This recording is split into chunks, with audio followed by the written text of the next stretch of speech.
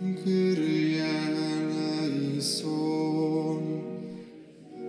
29 listopada wspominamy błogosławionego Edwarda Berden, męczennika. O Edwardzie wiadomo tylko, że pochodził z Anglii i po ukończeniu studiów na Uniwersytecie w Oksfordzie wyjechał do Francji. Tam przygotowywał się do kapłaństwa i otrzymał sakrament święceń w 1584 roku. Po dwóch latach powrócił do Anglii. Przez kolejne dwa lata służył katolikom w północno-wschodniej części Anglii. Wkrótce, w czasie prześladowania, został aresztowany, a po krótkim pobycie w więzieniu osądzono go i skazano na śmierć tylko za to, że był katolickim kapłanem.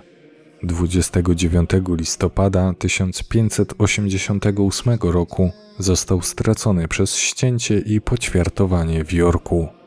Edward Berden beatyfikowany został 22 listopada 1987 roku przez papieża świętego Jana Pawła II w grupie 85 męczenników Anglii i Walii.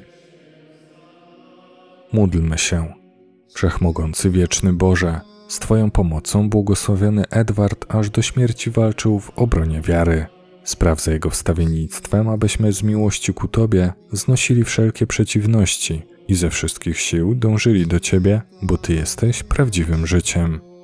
Przez naszego Pana, Jezusa Chrystusa, Twojego Syna, który z Tobą żyje i króluje w jedności Ducha Świętego, Bóg przez wszystkie wieki wieków. Amen.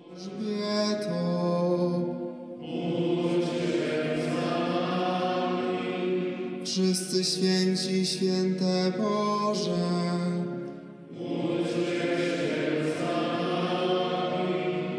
Bądź na